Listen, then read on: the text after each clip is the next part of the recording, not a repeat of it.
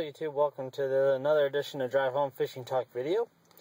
Uh, this video is going to be really short, but the topic is, is um, I'm going to be starting a, a, a, catfish tournament next year in, in the state of Utah.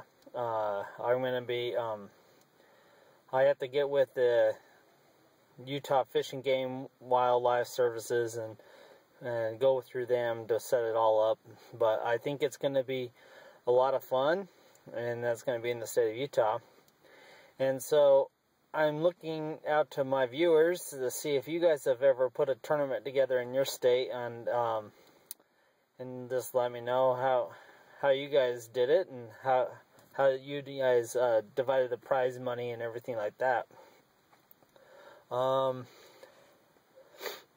my my thing is is I would really like to make it a catch and release. Uh, catfish tournament. But I would like to get your guys' honest opinion on do you think half the people would be honest about their catch? Or how would you go about making a catch and release catfish tournament?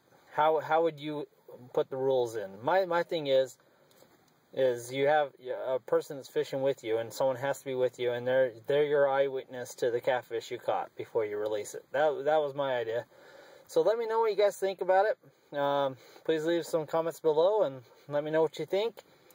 Please feel free to check out all my dri other drive home fishing talk videos. And uh, like if you like and subscribe if you want to. Have a good one, YouTube.